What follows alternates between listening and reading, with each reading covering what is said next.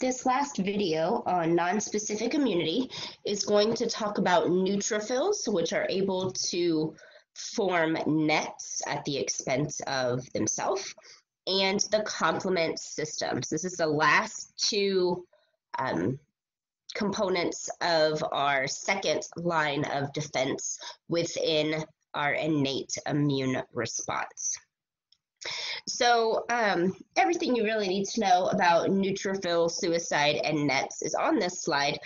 Um, but essentially, neutrophils are a type of um, white blood cell that, um, in essentially, um, they sacrifice themselves in order to create these nets, which stands for neutrophil extracellular traps. And they're really like big glorified nets. Um, essentially, what it is, is it is uh, nucleic acids, which in eukaryotes, right, is much larger and more complex than prokaryotes. And so, in order to keep um, all the DNA that a eukaryotic cell has, to keep it nice and organized and compact, it's actually wrapped around these little molecules called histones. Um, so, kind of imagine that you're into crafting, maybe knitting, and imagine having just all this different colored yarn just randomly thrown about, right? That would be chaotic. It would take up a lot of space, wouldn't really work. And so you'd want to organize it. And a lot of people will wrap yarn, you know, around something to form a nice organized ball of yarn. And so that's what we do with our DNA in eukaryotes, except the DNA is the yarn in my example. And histones are the little, whatever it is, people would wrap the yarn around to keep it, again, organized and tight. And so essentially by committing suicide, these neutrophils release their nucleic acid um, and histones in such a way that it acts like a, a net or a tarp um, that is going to cover and trap the pathogen. And associated with this nucleic acid net are very aggressive um, enzymes that are meant to destroy pathogens, specifically bacteria and fungi. And so uh, when these nets are released, again, they trap the bacteria, fungi, and uh, make it so that they are immobilized so that these antimicrobial enzymes and molecules can go and degrade and kill the pathogen. All right, next up is the complement system. And the complement system is uh, a bit complicated. Um, it consists of over 30 different proteins. We're only going to talk about a handful of them. But they work together to destroy bacteria and viruses that invade our body. And there are three different complement pathways. And so I'm going to kind of sketch out um, one of them because it's the most complex. It's the classical pathway. But the other two pathways kind of just take shortcuts. And so it's the same overall process, but the other two pathways start farther along um, in the in the process. But essentially, these complement proteins uh, form cascade reactions. And what that means is once one of the proteins is activated, it will then go and activate other proteins, which then activate other proteins. Um, and so it's a sequential uh, cascade response. And in order for a complement protein to be activated, it is cleaved or cut into two uh, smaller components. And so um, as we write this out, uh, we normally just say it's complement protein 1, but we'll write it as C1 because the C stands for complement. And so why do we care about the complement system? Well, no matter which of the three pathways um, gets activated, um, it's going to result in three different um, processes happening. One is going to be um, opsonization, and that is where pathogens with a capsule are going to get coated in molecules that kind of serve as handles. Because remember organism pathogens with a capsule are sticky and it's hard for phagocytes to be able to grab hold of them to ingest and digest the pathogen. And so we have a way of combating that, which is to cover that sticky capsule with um, molecules that will allow the phagocytes um, to better grab hold um, of the pathogen. So that's what opsonization is. And then inflammation, we've already talked about. And then the last one is cytolysis, which is essentially forming holes in the pathogen membrane, uh, making it leaky. And so, but it actually forms more like a pore. So it doesn't just poke holes; it forms an actual pore in the membrane of the pathogen. And so you'll you'll see a picture of this um, in just a second. So let's go ahead and uh, move on to the next slide. so this is a rather scary uh, picture of the complement system. And so we are going to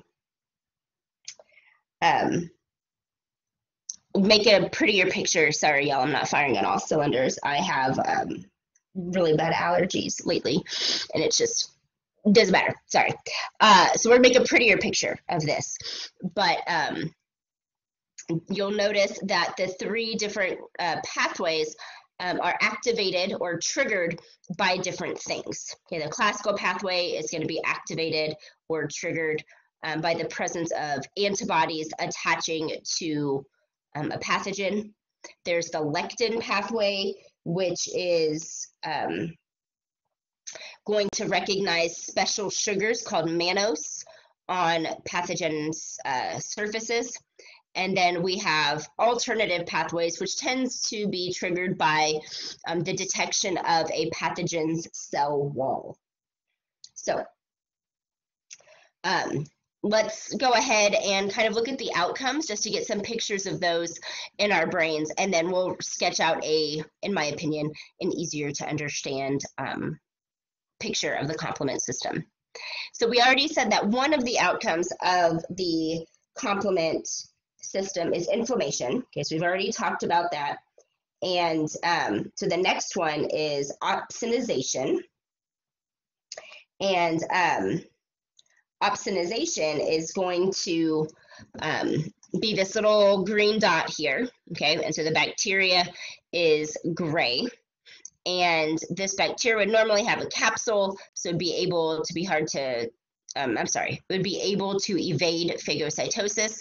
But notice that certain complement proteins, and you know they're complement proteins because they start with a C, um, are able to coat the surface of the bacteria and um, um, help the phagocyte be able to attach to it and then um, phagocytose that cell, which is pretty snazzy.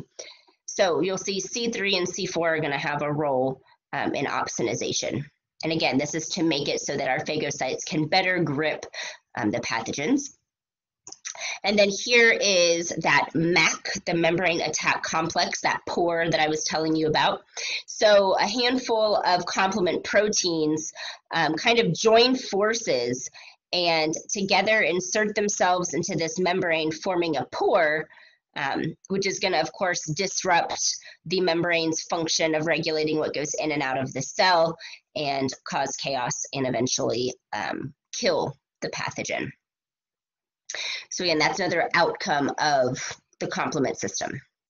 So let's kind of draw our own picture here and um, see if we can help this make a little bit uh, more sense.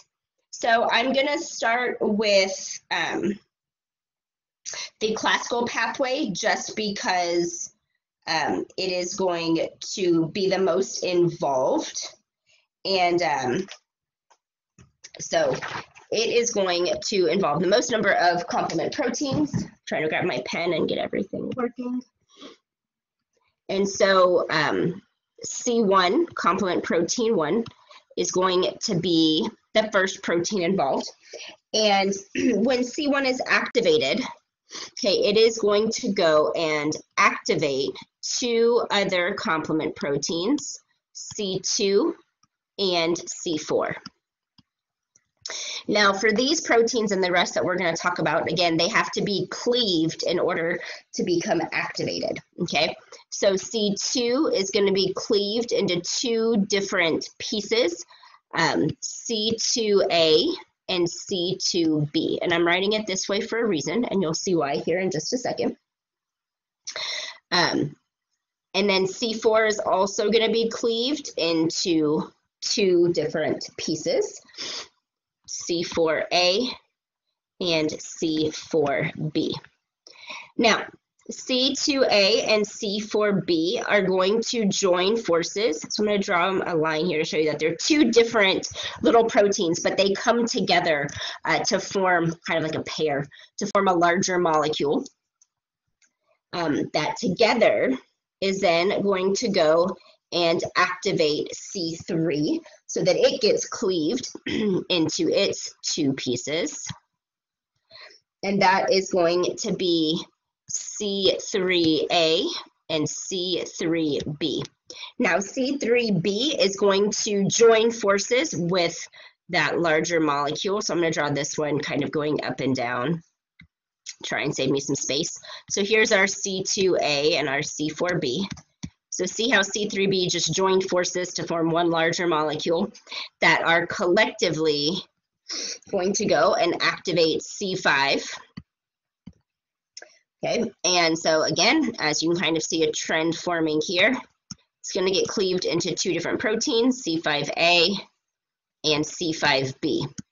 Now, C5b is actually going to kick off um, this MAC formation uh, that that pore in the pathogen membrane, and it does so by recruiting um, four other complement proteins. So it is going to recruit complement protein six, complement protein seven, complement protein eight, and several complement protein nines. And together they are going to again, go and form those pores in the pathogen membrane, that MAC complex. Okay, so it's C5b along with C6, C7, C8, and multiple C9s. So now you might be asking yourself, well, what about all these other, you know, little proteins that were made that didn't form larger molecules? Well, C4A is going to go and have a role in inflammation. Um, C3A is also going to go have a role um, in inflammation, as does C5A. So they're going to help kind of enhance um, that immune response to make sure that that pathogen is going to be um, really contained and um, uh, eliminated. Okay. All right, y'all. That um, oh, actually, there's one more thing that I forgot we need to talk about. Um, get out of this pen. Here we go. So I'm sorry, there was three things we needed to include in this video, um, but this one's short and sweet because honestly, we don't really know a whole lot about these little antimicrobial peptides. So they're called peptides because they are made up of amino acids, which are joined together by peptide bonds.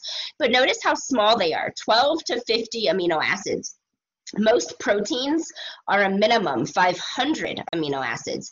So these are really small little amino acid chains that are able to insert themselves into um, the phospholipid bilayer of the pathogen. So as you can see, this is going to cause it to be leaky. It's going to cause the pathogen um, to lyse.